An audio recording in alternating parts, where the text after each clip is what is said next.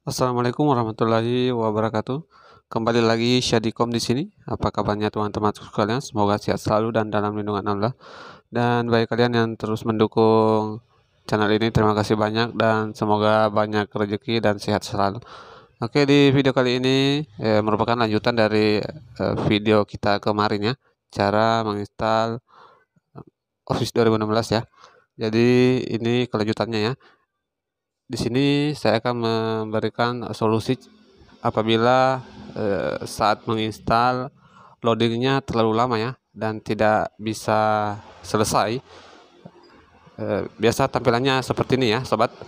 Penampakannya ya seperti ini ya. Dia akan loading walaupun kita menunggu setengah jam, satu jam, dua jam, tiga jam, dan itu tidak akan berhenti ya mungkin berhari-hari tidak akan berhenti ya jika kita tidak mengatasinya. Jadi untuk cara mengatasinya, mengatasinya kita simak video berikutnya. Out. Oke, langkah pertama yang kita lakukan yaitu di sini saya akan mencoba menginstal Office-nya dulu ya. Supaya bisa dilihat bagaimana uh, kondisi dari uh, saat penginstalannya driver ISO-nya kita klik kanan lalu kita klik mount.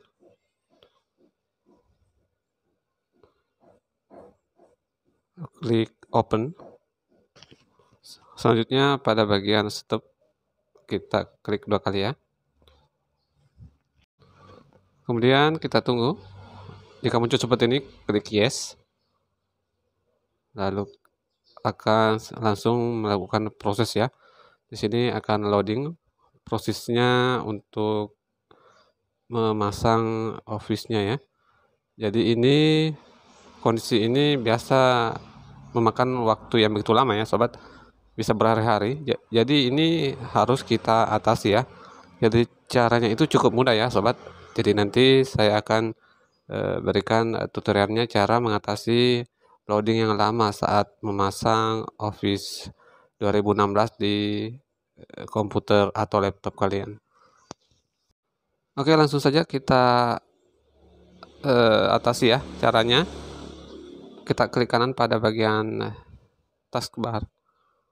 Lalu pilih task manager.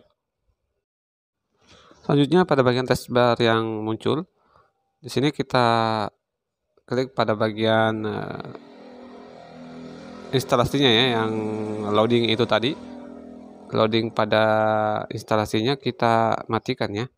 Kita end text ini kita klik lalu klik di sudut kanan bawah end text.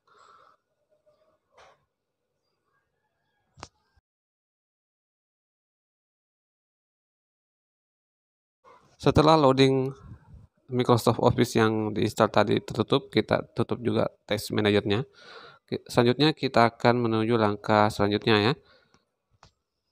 Sebelum kita masuk ke langkah selanjutnya, silahkan restart dulu laptop atau komputer kalian. Kita tunggu sementara eh, melakukan eh, restart ya. Jadi di sini kita restart dulu untuk agar supaya komputer atau laptopnya bisa berjalan nantinya ya dengan eh, baik saat menginstal Office 2016. Oke, langkah selanjutnya di sudut kiri di pencarian bawah ya, kita klik ketikan regedit. Selanjutnya pada bagian register editor yang muncul, kita klik bagian run administrator yang ini ya. Jadi kita jalankan sebagai administrator ya. Jalankan sebagai pribadi atau administrator. Selanjutnya kita tunggu. Jika muncul seperti ini, klik yes.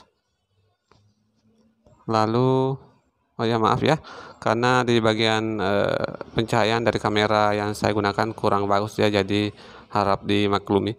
Oke, di bagian ini uh, langkah selanjutnya, selanjutnya klik tanda panas ini ya, di Hake Koran Acer, Hake Koran Acer ya, Koran Acer. Selanjutnya kita scroll ke bawah, lalu cari tulisan software ya, cari tulisan software Setelah ketemu, klik di bagian tanda panah ini ya. Lalu selanjutnya kita scroll lagi ke bawah ya. Lalu kita cari tulisan Microsoft. Selanjutnya kita klik lagi ya tanda panahnya di bagian Microsoft yang ini. Oke, selanjutnya kita scroll lagi ya ke bawah. Lalu kita cari tulisan Windows ya. Kita scroll ke bawah. Ini di bagian bawah ya karena dia berawal huruf W. Jadi kita scroll ke paling bawah. Oke, di sini ya. Ini tanda panahnya kita klik lagi ya. Selanjutnya di bagian Windows ini cari tulisan current version, current version ya. Kita cari current version. Selanjutnya kita klik pada tanda panah di bagian current version ya, yang ini. Oke. Ini ada beberapa folder ya di bagian current version. Di bagian ini kita luaskan dulu ya supaya bisa dengan mudah mencari folder selanjutnya. Yang kita cari yaitu folder Polyches. Kita scroll ke bawah dengan huruf awal P bridges jadi kita scroll oke di bagian ini ya jadi kita klik lagi tanda panah di bagian uh, Polyches yang ini selanjutnya di bagian Polyches ini ada Explorer ya. Kita klik pada bagian tanda panah di Explorer. Selanjutnya folder disallow run ini ya. Disallow run ini kita klik kanan. Lalu kita delete. Jika kalian ragu e, langsung menghapusnya kalian bisa e, backup dulu ya registry, registry editornya ini.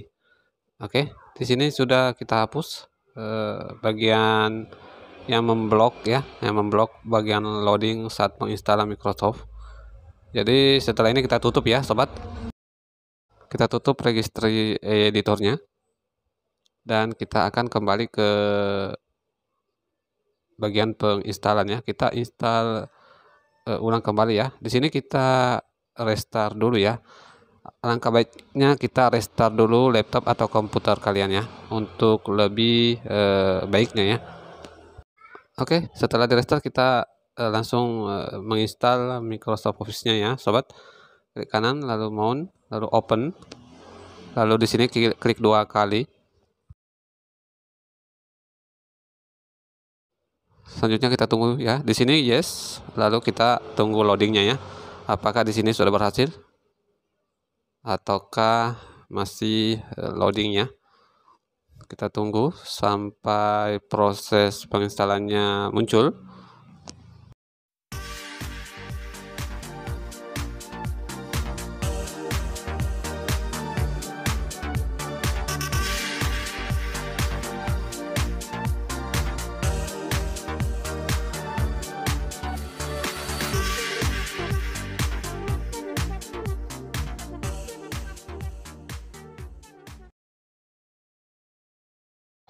Oke, di sini sudah berhasil ya, sobat, masuk ke dalam proses penginstalannya. Oke. Cara ini sudah berhasil ya, sobat. Semoga kalian bisa melakukan penginstalan pada Microsoft kalian. Oke. Akhir, akhir kata saya ucapkan terima kasih. Assalamualaikum warahmatullahi wabarakatuh.